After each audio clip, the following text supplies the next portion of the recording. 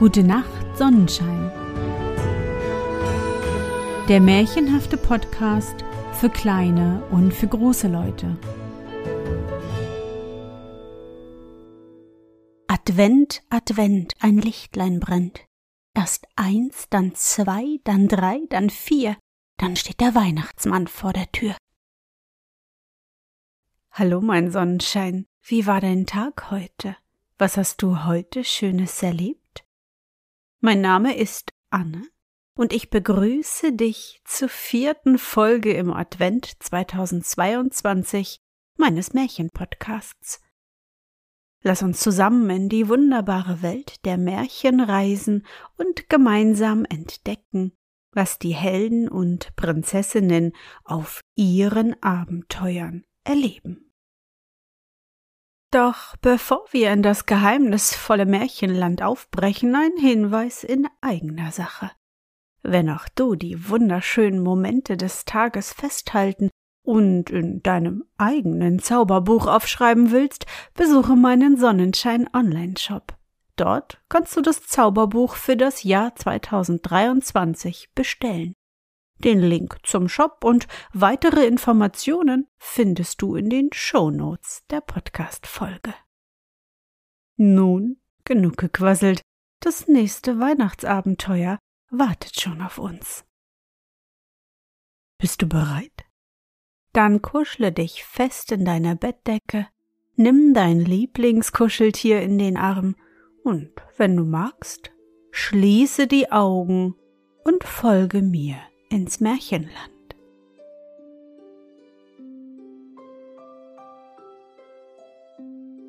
Jugend ohne Alter und Leben ohne Tod. Es war einmal, wie es keinmal war. Wär's nicht gewesen, würde ich es nicht erzählen. Es war einmal ein großer Kaiser und eine Kaiserin beide jung und schön, und da sie sich Kindersegen wünschten, taten sie alles, was dazu nötig ist. Nämlich, sie gingen zu den Hexen und Philosophen, damit diese aus den Sternen lesen möchten, ob sie Kinder haben würden oder nicht. Aber es war alles vergebens. Schließlich hörte der Kaiser, dass in einem nahen Dorfe ein weiser alter Mann lebte und schickte zu ihm, um ihn rufen zu lassen. Die Abgesandten aber kamen mit der Antwort heim, wer ihn brauche, möge zu ihm selber kommen. So brachen also Kaiser und Kaiserin auf und nahmen einige Herren ihres Hofstaats, Gefolge und Soldaten mit sich und gingen in das Haus des weisen Mannes. Als der Alte sie von ferne kommen sah, ging er ihnen entgegen und sagte sogleich Seid willkommen, aber was willst du wissen, Kaiser? Der Wunsch, den du hegest, wird dir Trauer bringen. Ich bin nicht hier, um dich danach zu fragen, sagte der Kaiser, sondern um zu wissen, ob du irgendwelche Kräuter hast, die du uns geben kannst, damit wir Kinder bekommen. Ja, die habe ich, entgegnete der Alte. Aber ihr werdet nur ein Kind haben. Es wird ein schöner, liebreizender Knabe sein, und er wird euch nicht erhalten bleiben. Nachdem der Kaiser und die Kaiserin die Heilkräuter genommen, kehrten sie froh zum Palaste zurück, und nach einigen Tagen fühlte sich die Kaiserin schwanger. Das ganze Reich, der ganze Hof und alle Dienerschaft freuten sich über dieses Ereignis. Ehe aber noch die Stunde seiner Geburt kam, begann das Kind ein Geschrei, das keine Zauberkunst zum Schweigen bringen konnte. Da fing der Kaiser an, ihm alle Güter der Welt zu versprechen, aber es war keine Möglichkeit, ihn zu beruhigen. Schweigt, Vaters Herzenskind, sagte der Kaiser zu ihm, denn ich werde dir dieses und jenes Kaiserreich geben, Schweig, mein Sohn, denn ich werde dir zur Gemahlin diese oder jene Kaisertochter geben.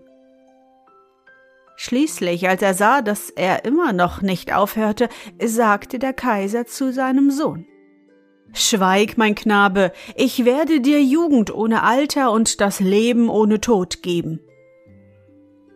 Darauf schwieg das Kind und kam zur Welt und die Hofleute schlugen die Pauken und bliesen die Trompeten, und im ganzen Reiche herrschte große Fröhlichkeit eine ganze Woche lang. Je mehr der Knabe wuchs, desto nachdenklicher und sinnender wurde er. Er ging in die Schulen und zu den Philosophen, alle Gelehrsamkeit wurde ihm zu eigen, so dass der Kaiser vor Freude starb und wieder auflebte.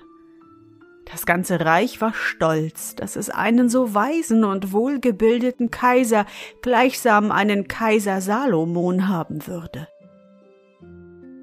Und eines Tages, als das Kind gerade sein fünfzehntes Jahr vollendete, war der Kaiser mit allen Herren und den Großen des Reiches bei Tisch und vergnügte sich, als der schöne Prinz aufstand und sagte Vater, Jetzt ist die Zeit gekommen, jetzt musst du mir das geben, was du mir bei meiner Geburt versprochen hast. Als der Kaiser solches hörte, betrübte er sich sehr und sagte zu ihm Aber mein Sohn, wie kann ich dir ein so unerhörtes Ding geben, und wenn ich es dir damals versprach, war es nur, um dich zum Schweigen zu bringen.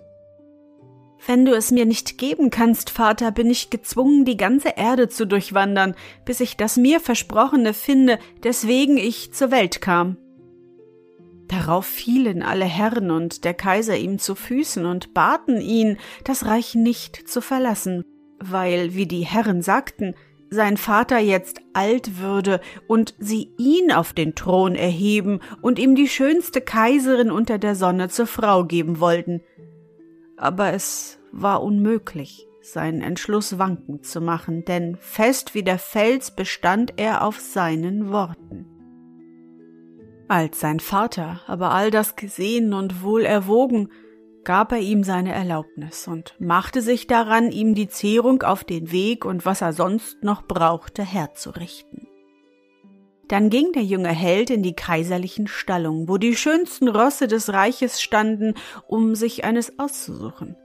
Aber wenn er die Hand an den Schwanz der Rosse legte, warf er sie zu Boden und so fielen alle Pferde nieder. Schließlich, als er gerade hinausgehen wollte, ließ er seine Augen noch einmal durch den Stall schweifen und erblickte in einer Ecke ein krankes, mit Geschwüren bedecktes, schwaches Pferd, auf das er zuging. Als er es an den Schwanz fasste, wandte es ihm den Kopf zu und sagte Was befiehlst du, mein Gebieter? Ich danke Gott, dass er mir dazu verholfen hat, dass noch einmal eines Helden Hand mich berührt. Und sich fest auf die Füße stellend, blieb es gerade stehen. Da sagte ihm der junge Held, was er im Sinne habe zu unternehmen, und das Pferd entgegnete um deinen Wunsch erfüllen zu können, musst du von deinem Vater das Schwert, die Lanze, den Bogen, den Köcher mit den Pfeilen und die Kleider, die er als Jüngling trug, verlangen. Mich aber musst du mit eigener Hand sechs Wochen lang pflegen und mir den Hafer mit Milch gekocht geben. Als er vom Kaiser die Sachen erbat, die ihm das Pferd angeraten hatte, rief dieser den Haushofmeister des Palastes und befahl ihm, alle Kleidertruhen aufzuschließen, damit sein Sohn die, welche ihm gefielen, auswählen könne. Der junge Held, nachdem er sie drei Tage lang durchwühlt, fand endlich auf dem Boden in einer alten Truhe die Rüstung und die Kleidung, welcher sein Vater als junger Mann getragen erstere aber ganz verrostet. Er machte sich mit eigener Hand daran, sie vom Rost zu reinigen, und innerhalb sechs Wochen, während der Zeit, da er auch das Pferd pflegte, gelang es ihm, die Rüstung glänzend und blank wie einen Spiegel zu putzen. Als das Pferd von dem schönen Prinzen erfuhr, dass die Kleider und das Rüstzeug gereinigt und hergerichtet seien, schüttelte es sich einmal und alle Geschwüre fielen von ihm ab, und es stand gerade so da, wie seine Mutter es geboren, als ein starkes, wohlgebautes Pferd mit vier Flügeln. Als der Held es so sah, sagte er ihm, In drei Tagen brechen wir auf. Lange mögest du leben, Herr, und ich stehe heute schon zu deinen Diensten, antwortete das Pferd. Und am dritten Tage in der Frühe war am ganzen Hofe und im ganzen Kaiserreich große Trauer. Der schöne Prinz, wie ein Held gekleidet, mit dem Schwert in der Hand auf dem Pferde reitend, das er sich auserwählt, nahm Abschied vom Kaiser, von der Kaiserin, von allen großen und kleinen Herren, von dem Heere und von der ganzen Dienerschaft des Hofes, welche mit Tränen in den Augen ihn anflehten, von dieser Reise abzusehen, damit er seinen Kopf nicht etwa dem Verderben aussetze. Er aber, dem Pferde die Sporen gebend, flog wie der Wind zum Tore hinaus, ihm nach die Wagen mit der Zehrung, mit Geld und so an die zweihundert Reiter, welchen der Kaiser den Befehl gegeben, ihn zu begleiten. Und nachdem er über die Grenze von seines Vaters Reichs gelangt und in der Wüste angekommen, hatte der schöne Prinz alle seine Habe unter den Reitern verteilt, Abschied von ihnen genommen und sie zurückgeschickt. Für sich behielt er nur so viel Nahrungsmittel zurück, als das Pferd tragen konnte. Und dann schlug er den Weg gen Osten und ritt drei Tage und drei Nächte, bis er an eine weite Ebene kam, auf der viele Menschengebeine lagen. Als er hier anhielt, um auszuruhen, sagte ihm das Pferd Wisse, Herr, dass wir hier auf den Besitztümern einer Spechtfee sind, die so böse ist, dass niemand ihr Reich betreten kann, ohne von ihr gemordet zu werden. Sie war eine Frau, aber der Fluch der Eltern, denen sie nicht gehorchte, sondern die sie immer erzürnte, hat sie zu einem Specht gestaltet. Jetzt ist sie bei ihren Kindern, aber morgen in dem Walde, den du dort siehst, wirst du ihr begegnen. Sie kommt, um dich zu verderben. Sie ist furchtbar groß, aber erschrick dich nicht, sondern halte den Bogen bereit, um sie mit dem Pfeil zu durchbohren. Halte auch Schwert und Lanze bei der Hand, damit du dich ihrer im Fall der Not bedienen kannst. So begaben sie sich zur Ruhe, aber sie wachten immer abwechselnd. Am folgenden Tage, als sich die Morgenröte verbreitete, trafen sie ihre Vorbereitungen, um durch den Wald zu kommen. Der Prinz sattelte und zäumte das Pferd, zog die Gurtriemen straffer an als bisher und machte sich auf, als er plötzlich ein schreckliches Hacken hörte. Das Pferd sagte ihm jedoch Halte dich bereit, Herr, denn jetzt nähert sich die Spechtfee. Als sie nun näher kam, riss sie die Bäume nieder, so eilig ging sie. Das Pferd aber schnellte in die Höhe wie der Wind, so dass es fast über ihr stand, und der Prinz schoss ihr mit dem Pfeil einen Fuß ab. Als er ihr aber den zweiten Pfeil senden wollte, rief sie Haltet ein, junger Held, ich tu dir nichts. Und als sie sah, dass er ihr nicht glaubte, gab sie es ihm mit ihrem Blute geschrieben. Dein Pferd soll leben, junger Held, sagte sie ihm weiter, denn es ist verzaubert. Wenn das nicht gewesen wäre, hätte ich dich gebraten verspeist. Wisse, dass bis heute kein Sterblicher gewagt hat, meine Grenzen bis hierher zu überschreiten. Ein paar Verwegene, die sich dessen erdresteten, sind bis zu dieser Ebene gelangt, wo du die vielen Gebeine gesehen hast. Nun gingen sie zu ihrem Hause, wo sie ihn bewirtete und wie einen Gastfreund aufnahm. Als sie aber bei Tische saßen und sich vergnügten, wimmerte die Spechtfee vor Schmerz. Da zog er den Fuß, welchen er ihr abgeschossen, aus dem Reisesacke, in dem er ihn aufbewahrt hatte, setzte ihn ihr an und er heilte auch augenblicklich. Sie aber hielt vor Freude drei Tage hintereinander offene Tafel und bat ihn, sich zur Frau eine ihrer Töchter, die alle drei schön wie Feen waren, auszuwählen. Er aber wollte nicht, sondern sagte ihr, was er suche, worauf sie entgegnete. Mit dem Pferde, das du hast, und mit deinem Heldenmut glaube ich, dass du es erreichen wirst. Und nach drei Tagen machte er sich reisefertig und brach auf. Er ritt und ritt und ritt weiter. Lang und immer länger ward der Weg, als er aber über die Grenzen des Spechtfeegebiets zog, stieg er auf eine schöne Wiese, die auf der einen Seite mit blühenden Gräsern bedeckt auf der anderen aber versenkt war. Da fragte der Heldenprinz, warum das Gras versenkt sei, und das Pferd antwortete. Hier sind wir auf dem Gebiete der Skorpionhexe. Sie ist die Schwester der Spechtfee. Sie sind aber beide so böse, dass sie nicht zusammen leben können. Der Fluch der Eltern hat sie getroffen und darum sind sie so, wie du sie gesehen, zu Untieren geworden. Ihre Feindschaft ist über alle Begriffe. Sie wollen sich gegenseitig immer Land entreißen. Wenn diese sehr erzürnt ist, speit sie Feuer und Pech. Sie muss irgendeinen Streit mit ihrer Schwester gehabt haben, und um sie von ihrem Gebiet zu verjagen, hat sie das Gras, auf das sie getreten war, versenkt. Sie ist noch schlimmer als ihre Schwester und hat drei Köpfe. Wir wollen jetzt etwas ruhen und morgen mit dem frühesten bereit sein. Am anderen Tage bereiteten sie sich vor wie damals, als sie zur Spechtfee gelangten und brachen auf. Bald hörten sie ein Geheul und ein Rauschen, wie sie es bis dahin noch nie vernommen haben.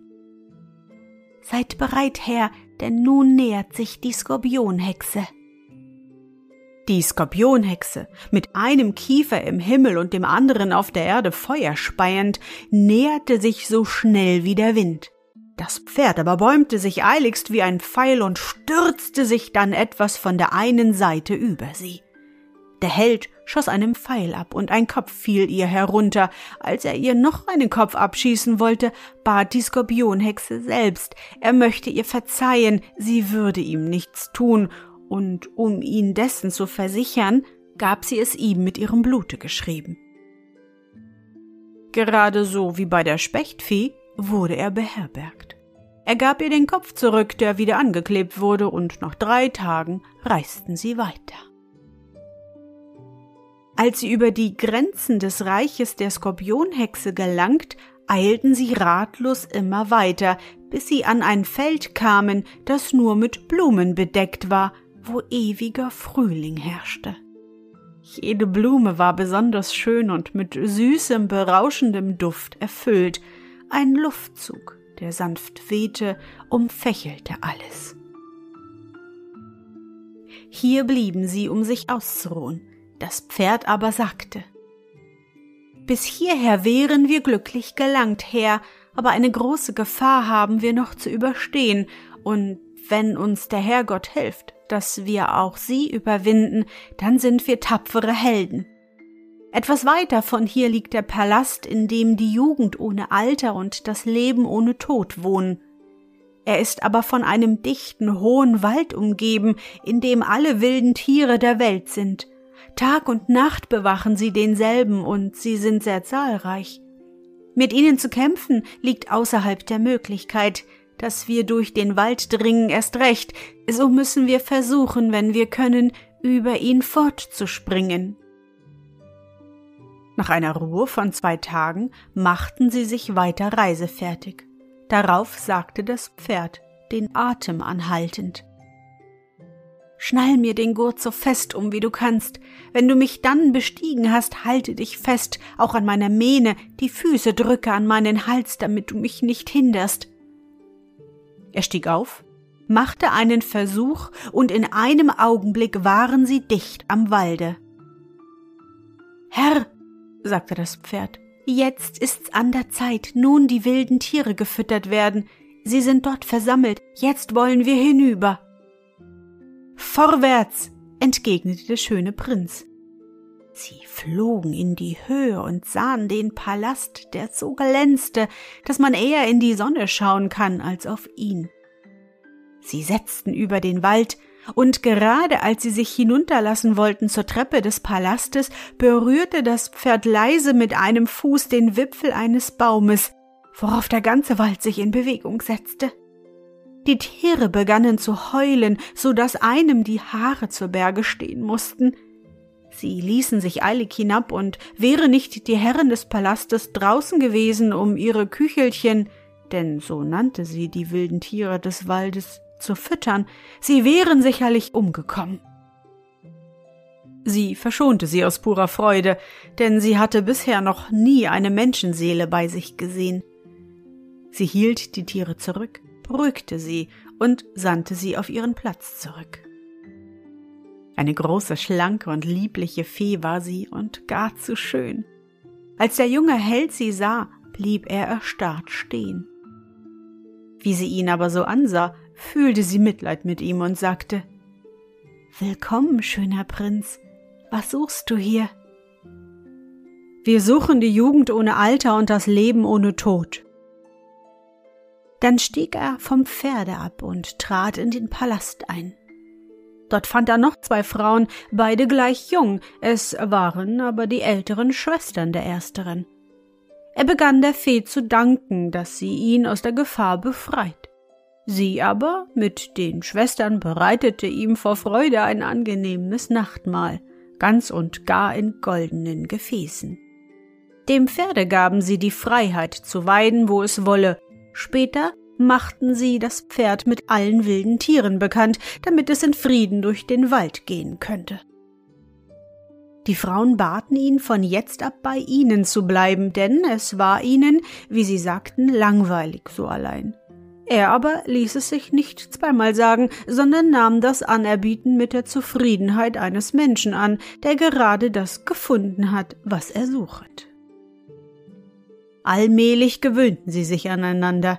Er erzählte ihnen seine Geschichte und was er gelitten hatte, bis er zu ihnen gelangt war, und nach einiger Zeit verheiratete er sich mit der jüngsten Schwester.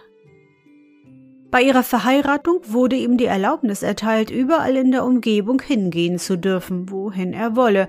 Nur ein Tal, das sie ihm zeigten, baten sie ihn nicht zu betreten, denn sonst erginge es ihm schlecht. Jenes Tal, so sagten sie ihm, hieße das Tal der Klage. Er verbrachte dort eine sehr lange Zeit zu, ohne es zu verspüren, denn er blieb immer so jung, wie er gewesen, als er angekommen war. Er ging durch die Wälder, ohne dass ihm auch nur der Kopf wehtat. Er ergötzte sich an den goldenen Palästen, lebte in Ruhe und Frieden mit seiner Frau und ihren Schwestern, freute sich der Zartheit der Blumen und der süßen reinen Luft wie ein Glückseliger. Oft ging er auf die Jagd. Eines Tages aber verfolgte er einen Hasen, sandte ihm einen, zwei Pfeile nach, aber er traf ihn nicht. Ärgerlich lief er hinter ihm her, sandte den dritten Pfeil, mit welchem er ihn auch traf, aber der Unglückliche hatte in seiner Eile nicht darauf geachtet, dass er durch das Tal der Klage gekommen, indem er den Hasen verfolgte. Er nahm den Hasen und wandte sich nach Hause, aber plötzlich überfiel ihn die Sehnsucht nach Vater und Mutter. Er wagte nicht, seiner Frau davon zu erzählen, aber sie und die Schwestern erkannten seinen Zustand gleich an der Trauer und der Unruhe, in der sie ihn sahen. Unglücklicher, du bist in das Tal der Klage gegangen, sagten sie ihm voll Schreck. Ich hab's getan, meine Lieben, ohne diese Unbesonnenheit begehen zu wollen, jetzt aber vergehe ich vor Sehnsucht nach meinen Eltern. Aber auch euch kann ich nicht verlassen. Ich bin schon mehrere Tage bei euch und habe mich über keine Kränkung zu beklagen. So werde ich also hingehen, um meine Eltern noch einmal zu sehen, und dann werde ich zu euch zurückkehren, um nie mehr fortzuziehen. Verlass uns nicht, Geliebter, deine Eltern leben schon seit Hunderten von Jahren nicht mehr, und selbst du, wenn du einmal gehst, wirst, so fürchten wir, nie mehr zurückkehren. Bleibe bei uns, denn eine böse Ahnung sagt uns, dass du umkommst. Doch alle Bitten der drei Frauen, wie auch die des Pferdes, waren nicht imstande, seine Sehnsucht nach den Eltern, die ihn bei lebendigem Leibe verzehrte, zu stillen.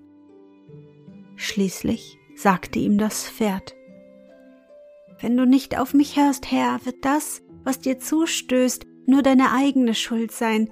Ich will dir etwas sagen, und wenn du meine Bedingung annimmst, bringe ich dich zurück. Ich nehme sie an, sagte er. Mit allem Dank lass sie hören. So wie du am Palaste deines Vaters anlangst, steige du ab, ich aber werde allein umkehren, falls du auch nur eine Stunde dort bleibst. So sei es, sagte er. Sie machten sich reisebereit. Er umarmte die Frauen und nachdem er Abschied genommen, ritt er fort. Sie aber blieben schluchzend und mit Tränen in den Augen zurück. Sie kamen an die Stelle, wo einst das Gebiet der Skorpionhexe gewesen, dort fanden sie Städte. Die Wälder waren zu Feldern geworden, er fragte diesen und jenen nach der Skorpionhexe und ihrer Behausung, sie aber antworteten ihm, dass ihre Großväter von den Urgroßvätern gehört hätten, dass man sich einst solche albernen Märchen erzählt habe. Wie ist so etwas möglich? sagte ihnen der Prinz. Neulich bin ich noch hier vorbeigekommen. Und er erzählte ihnen alles, was er wusste. Doch die Leute lachten über ihn, wie über einen, der irr redet und wachend träumt. Er aber ritt erzürnt weiter, ohne zu beachten, dass ihm Haar und Bart weiß wurden. Als er in das Reich der Spechtfee kam, dieselben Fragen und dieselben Antworten. Er konnte einfach nicht begreifen, wie sich die Ortschaften in einigen Tagen derart verändert hatten, und von neuem erzürnt ritt er mit einem weißen Bart, der ihm bis zum Gurte reichte, weiter und fühlte, wie ihm die Füße zu zittern begannen. Auch von dort aufbrechend gelangte er in das Kaiserreich seines Vaters. Hier neue Menschen, neue Städte und die alten so verändert, dass er sie nicht wiedererkannte. Endlich gelangte er an den Palast, in dem er zur Welt gekommen. Als er hier abstieg, küsste ihm das Pferd die Hand und sagte Bleib gesund, Herr, ich kehre dorthin zurück, von wo ich gekommen. Wenn auch du dorthin zu gehen wünschest, steig schnell auf und wir reiten los. Fahr wohl, auch ich hoffe bald zurückzukehren. Das Pferd flog wie ein Pfeil davon. Als er die Paläste zerfallen und das Unkraut, das um sie herumwucherte, sah, seufzte er tief auf und mit Tränen in den Augen suchte er sich zurückzurufen, wie glänzend einst diese Stätten waren. Er ging zwei, dreimal um sie herum, suchte in jedem Zimmer, jeder Ecke sich die Vergangenheit zu vergegenwärtigen, suchte den Stall, in dem er das Pferd gefunden, dann stieg er in den Keller hinab, dessen Eingang mit den herabfallenden Trümmern erfüllt war. Hier und dort suchte er herum mit einem weißen Barte, der ihm bis zum Knie reichte. Seine Augenlider hob er mit den Händen hoch und konnte kaum noch gehen. Er fand nur ein altes Gerümpel von Truhe, die er öffnete, aber es war nichts in ihr. Er hob den Deckel empor. Da sprach eine Stimme aus der Tiefe. Sei willkommen, denn hättest du noch länger auf dich warten lassen, wäre auch ich zugrunde gegangen. Da legte sein Tod, der in der Truhe schon ganz zusammengeschrumpft war, die Hand auf ihn. Er aber fiel tot hin und zerfiel augenblicklich zu Staub. Und ich? Ja, ich, ich schwang mich in den Sattel dann, damit ich's dir erzählen kann.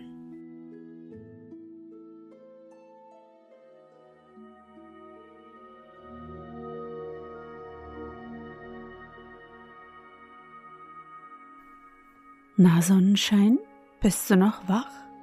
Das war das rumänische Märchen Jugend ohne Alter und Leben ohne Tod. Aufgeschrieben von der deutschen Schriftstellerin Miete Kremnitz. Hm, niemals altern und für immer leben. Das klingt eigentlich ganz toll, doch für immer ohne Mama, Papa, die Geschwister und Freunde zu sein, das würde ich nicht wollen. Dann lieber Falten und graue Haare bekommen und viele schöne Momente zusammen mit den Lieblingsmenschen sammeln. Was meinst du? Ich hoffe, dir hat unsere gemeinsame Reise heute gefallen. Für mich war es wieder wunderbar und ich danke dir, dass du mich begleitet hast. Und bevor du nun die Augen schließt und in dein Traumland reist, möchte ich mit dir nochmal an dein schönstes Erlebnis heute denken. Was war es?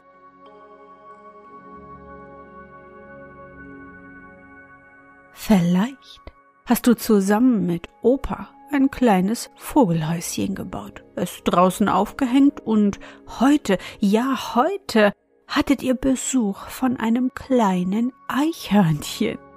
Wie aufregend. Versuche dich an dein schönstes Erlebnis heute zu erinnern.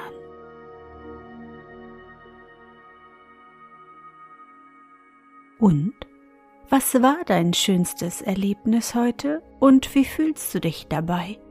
Suche dir auch heute wieder den schönsten Moment aus und präge ihn dir gut ein. Und wenn du magst, kannst du ihn auch malen oder im Zauberbuch aufschreiben. Und nun gute Nacht, Sonnenschein. Schlaf gut und träum was Schönes. Wir hören uns bald wieder.